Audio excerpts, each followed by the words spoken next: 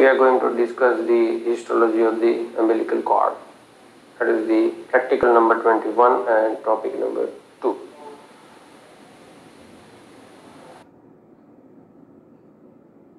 Umbilical cord is a tube-like uh, structure connecting the placenta with the fetus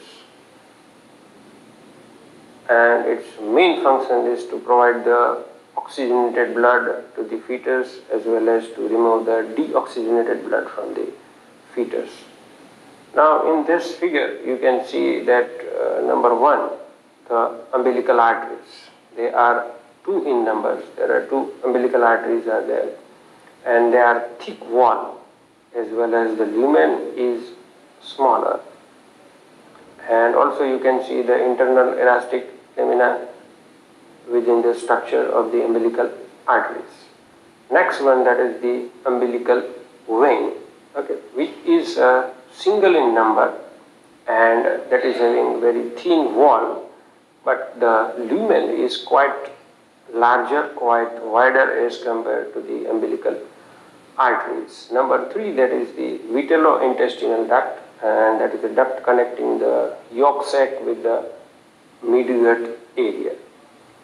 Number four, you can see in this figure that is the mucoid connective tissue, also known as the Wharton's jelly. This uh, area is mainly occupied by the highly branched fibroblast cells as well as the collagen fibers and the ground substance most periphery, most outer side of this umbilical cord, you will see the amniotic membrane and structurally this amniotic membrane is made up of the flattened epithelial cells. Okay? This is the photomicrograph uh, of the umbilical cord. In this uh, field of the microscope, you can see the two umbilical arteries are there and within this uh, umbilical arteries you can also see the uh, blood and the arteries they are thick wall as well as the lumen that is somewhat narrower as compared to the lumen of the vein. Number two, you can see the umbilical vein which is having the thin wall and the wider lumen as compared to the umbilical arteries.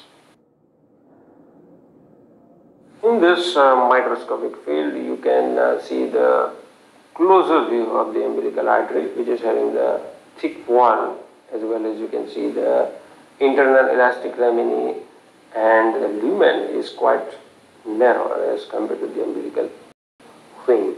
This is the closer view of the umbilical vein, so you can see the lumen is not circular as compared to the umbilical arteries. Uh, lumen is somewhat collapsed as well as you can see that the wall of the umbilical vein that is thin as compared to the umbilical arteries and the lumen is quite larger or wider or more spacious as compared to the umbilical arteries.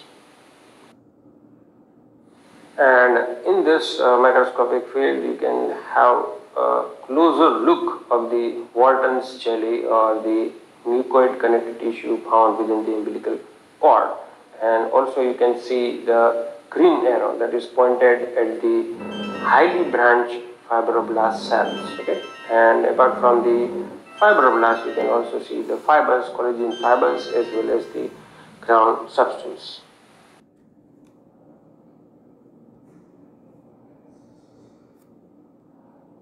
You can also see the live video under the microscope uh, onto the following links and thank you very much